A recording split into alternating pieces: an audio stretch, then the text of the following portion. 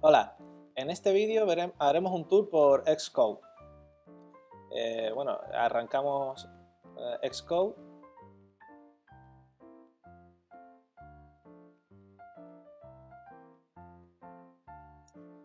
Y como vemos, lo primero que nos aparece es una pantalla de bienvenida con diferentes opciones.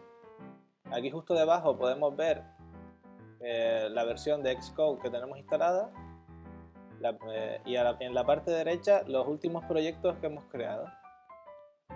La primera opción es para crear un nuevo proyecto, la segunda es para conectar directamente con un repositorio donde tengamos un proyecto, eh, la tercera es para ir a la documentación y la cuarta para ir al Developer Center. Pues bien, nosotros, como es la primera vez que vamos a iniciar Xcode, le daremos a crear nuevo proyecto. Si en algún caso ya hemos eh, abierto Xcode en otra ocasión, podemos volver a aparecer esta, esta ventana yendo a, Windows, eh, Welcome to Xcode, y ya nos aparecerá esta ventana. Si queremos quitarlo para que no nos aparezca más, eh, desmarcamos esta casilla. Pues bien, le vamos a crear un nuevo proyecto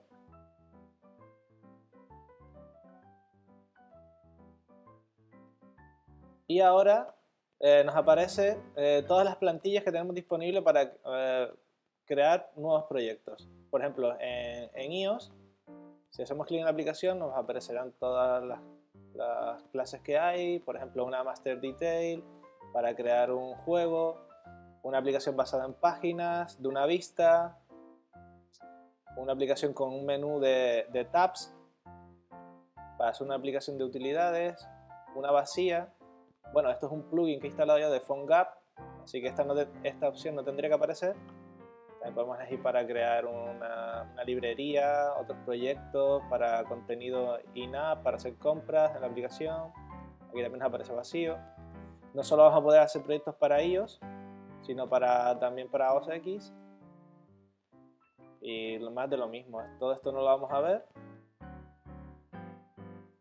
Y y bueno, en iOS casi siempre eh, vamos a, durante este curso vamos a utilizar, eh, iniciar proyectos con Single View Application.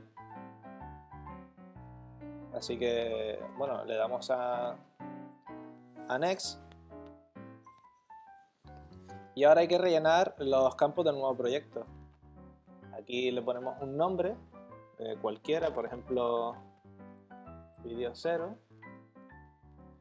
En nombre de organización, aquí iría el nombre de, la empresa, pero por lo general si tenemos una cuenta developer pondremos el nombre al que está asociado la cuenta. Identificación, identificador de la empresa.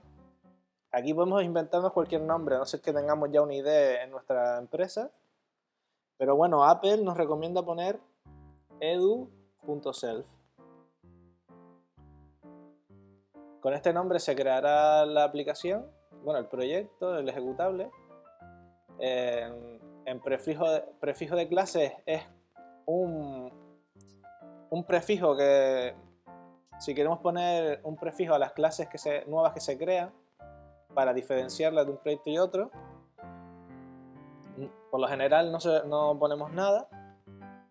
Aquí en dispositivos podemos elegir si queremos hacer un proyecto para iPhone, para iPad o universal que es para desarrollar para los dos. Elegiremos iPhone y aquí abajo es para usar, eh, si tenemos marcado usar Storyboard, eh, tendremos activada el editor eh, de interfaces. Si tenemos marcado el usar el referencia el ARC, es para que en las versiones nuevas de Xcode ya no hace falta gestionar la memoria dinámica de, punteros, de todo esto que, que sea de memoria dinámica, así que podemos hacerlo de forma automática marcando, marcando esta casilla y la última es para incluir unidades de testeo, si vamos a hacer pruebas exhaustivas de todas las clases, etc. tampoco lo vamos a ver en este curso. Así que, bueno, recomiendo siempre tener las dos primeras casillas marcadas. Le damos a siguiente.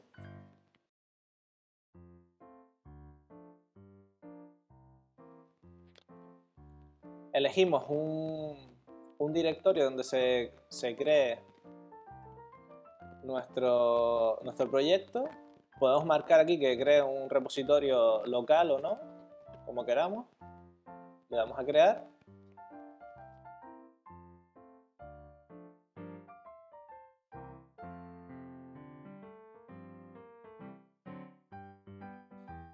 Y ahora sí que ya estamos en, el entorno de programación Scope.